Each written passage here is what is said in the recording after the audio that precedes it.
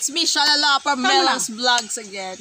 So, karong hapon guys, manguha taog botong kay magbuhat taog lamaw. Gagawa po tayo ng lamaw. Hindi ko alam pero sa Tagalog yung lamaw is kanin baboy po yun guys. Pero dito sa amin kinakain po yan. Buko po na may gatas. Amo na lang, ibalon ang ubang mga katubigan. Ikay, para ang among kauban, oh. Naklaro ba siya? Tara guys, masyag tuko dito, actually. Ito nga, kagusan dong. Ay, wagi ano daw. Ay, magulang din dong. Yaging magulang or atbang. Wala. Atbang. Yang igagaw or yang parinte.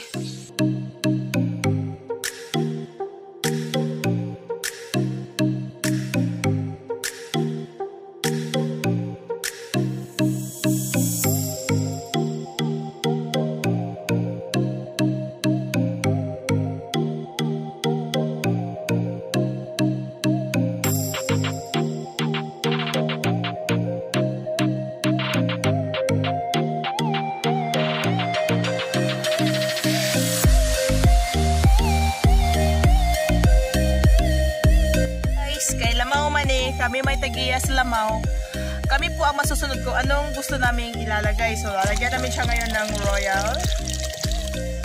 Masaya po, masarap po talaga ito. Ito yan. Royal to orange, guys. Tapos, para lalamig din siya. Dadagdagan pa namin yan ng buko later. Pero, lalamigin na muna namin. Yan. Tapos, lalagyan namin ng gatas. Lumamig na siya. Tapos ngayon, oh, paano namin bubuksan to? Later na lang, maghahanap muna kami ng pambukas. Hindi namin alam kung paano to bubuksan. So, mamaya na lang.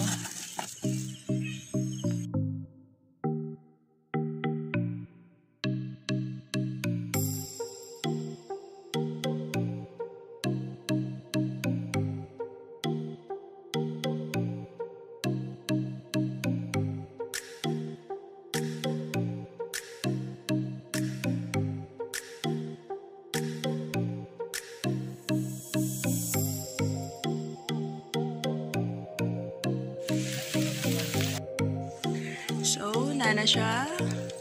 Ang among finished product. Mahulugan din ko rin putot karon Kanya ang una maulo ako, mausamo din ko dire. Mo ni siya ang nilamaw guys. Sa Tagalog hindi ko alam, pero sa Bisaya lamaw talaga ang ano tawag nito sa amin. So, dahil ikaw naman ang may-ari ng lamaw, depende na sa'yo kung anong ihahalo mo. So, tara, let's kain na!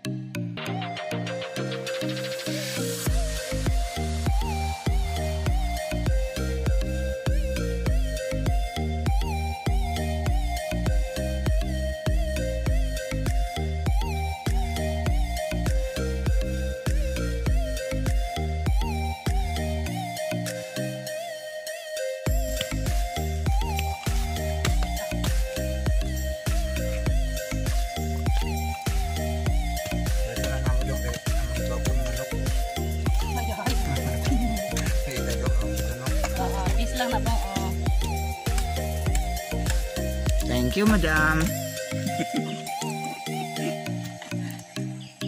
Sudah dong, dong, kau coba. Kau tak direk. Hah?